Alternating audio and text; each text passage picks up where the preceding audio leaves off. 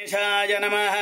దత్తాత్రేయన్నమామ్యహం నారాయణం నమస్కృత్య నరం చైవ నరోత్తమం.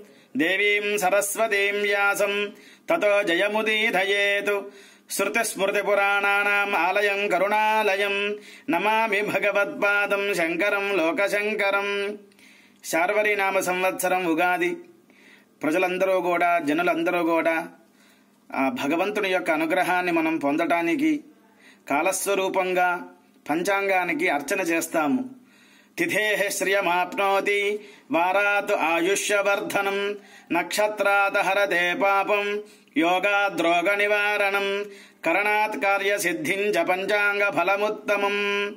కాలస్వరూపుడుగా ఉన్నారు భగవంతుడు. నమస్తే అస్తు భగవన్ విశ్వేశ్వరాయ మహాదేవాయ త్ర్యంభకాయ త్రిపురాంతకాయ త్రికాగ్నికాలాయ కాలాగ్ని రుద్రాయ నీలకంఠాయ మృత్యుంజయాయ. సర్వేశ్వరాయ మహాశివాయ శ్రీమన్మహాదేవాయ నమ. అటువంటి కాలస్వరూపుడుగా ఉన్న భగవంతుణ్ణి నిరంతరము భగవత్ కథలు వింటూ ఉండాలి. బ్రహ్మన్ విష్ణుకథా పుణ్యా మధ్వీర్లోకమలాపా కోను తృప్యేత శృణ్వాన శృతజ్ఞ నిత్యనూతనా లోకాల పాపాలు తొలగింపజేసే భగవత్ కథలు విషయం తెలిసినవారు. శ్రవణేంద్రియములను నిరంతరము భగవన్ నామస్మరణ చేస్తూ అనుషంగానైనా సరే వగతో అయినా పగతో అయినా ఆసక్తితో అయినా అనురక్తితో అయినా సంశక్తితో అయినా నిరంతరము భగవన్ నామస్మరణ చేస్తూ ఉండాలి. మనం కలియుగంలో ఉన్నాం. ఈ కలియుగంలో ఉన్నటువంటి సుఖం ఏ యుగంలోనూ లేదు. ఈ కలియుగంలో తప్పు చేయాలి అనుకుంటే పాపం రాదు. చేస్తేనే వస్తుంది. పుణ్యం చెయ్యాలి రామాయణ భారత భాగవత కథలు వినాలి దాన ధర్మాలు చెయ్యాలి యజ్ఞం చెయ్యాలి అనుకుంటేనే పుణ్యం వచ్చేస్తుంది. కానీ మిగిలిన సంవత్సరాలు మిగిలిన యుగాలలో కృతత్రేత ద్వాపర యుగాలలో యథావిధిగా చేస్తేనే ఫలితం వస్తుంది. మనసులో పాపం చెయ్యాలి అనుకుంటే కూడా దోషం వస్తుంది. ఈ కలియుగంలో అట్లా లేదు. కనుక ప్రస్తుత కాలమానం కాలం మనకి అనుకూలంగా లేదు. అనుకూలంగా లేని సమయాన్ని అనుకూలపరచుకోవాలి.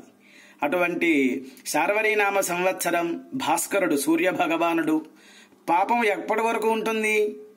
పుణ్యం వచ్చేంత వరకు. చీకటి ఎంతవరకు ఉంటుంది? వెలుతురు వచ్చేంత వరకు.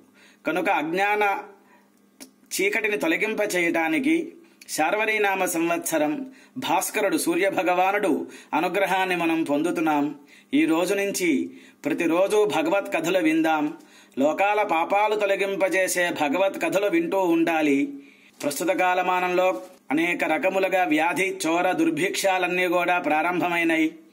కరోనా అనే నామకంగా ఉన్న ఒక వ్యాధి ప్రారంభమైంది. ప్రహ్లాదుడు నిరంతరము కూడా భగవన్ నామస్మరణ నారాయణ అనే నామాన్ని స్మరిస్తూ ఉన్నారు.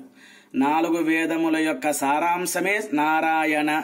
వేదములు ఛందోబద్ధంగా ఉంటాయి. సువర్ణపక్షం సువర్ణపక్షి అంటే గరుక్మంతుడు అనమాట అటువంటి గరుక్మంతుడు ఛందోబద్ధంగా ఉంటారు. త్రిష్టుప్ ఛందస్ అనుష్ఠుప్ ఛందస్ జగతే ఛందస్ గాయత్రి ఛందస్సు ఈ విధముగా వేదము ఛందోబద్ధంగా ఉంటుంది. హిరణ్యకశిపుడు తన కుమారుడికి విషం ఇచ్చిన అమృతమైంది నారాయణ స్మరణ వల్ల.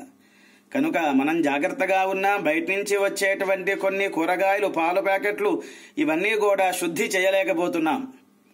అటువంటి సమయంలో భగవన్ నామస్మరణే ఏకైక శరణ్యం. భగవంతుని అనుగ్రహించాలి. ఆయన అనుగ్రహాన్ని మనం అందరం కూడా పొందాలి.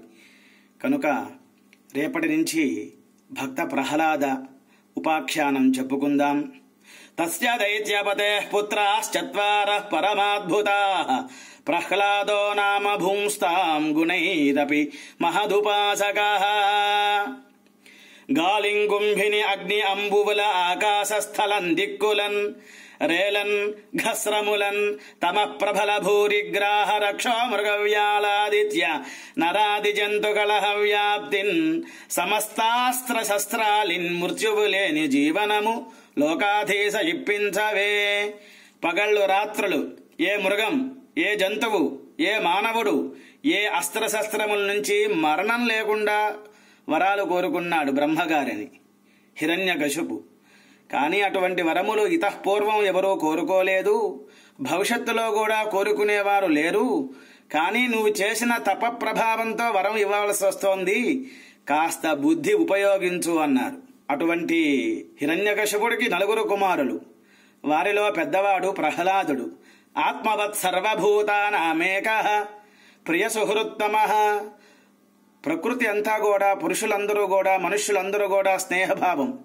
అటువంటి సర్వభూతములకు హితుడు ప్రియుడుగా ఉన్న ప్రహ్లాదుడు నిరంతరము కూడా భగవన్నామ స్మరణ చేస్తూ పానీయంబులు త్రావుచున్ కుడుచుచున్ భాషించుచున్ సంతత శ్రీనారాయణ పాద పద్మయుగళీ చింతామృతాస్వాద సంధానుండై సురారి సుతుడు ఏతద్విశ్వమున్ భూవరా. ఈ విధంగా ఏ పని చేస్తున్నా ఏ ఇంద్రియములతో ఏ పని చేస్తున్నా సరే భగవన్ నామస్మరణ చేస్తున్నారు. మనం కూడా ఈ ఇరవై ఒక్క రోజులు భగవన్ నామస్మరణ చేస్తూ ఉందాం.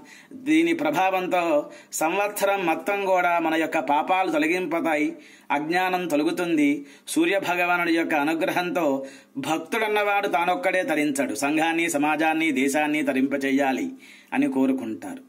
కనుక ఈ భగవత్ కథలు నిత్యము నామస్మరణ చేద్దాం. భగవన్ నామస్మరణ చేస్తూ ఈ యొక్క శరీరమే ఒక చెట్టు లాంటిది. చెట్టు మీద కాకులు వాళ్తూ ఉంటాయి.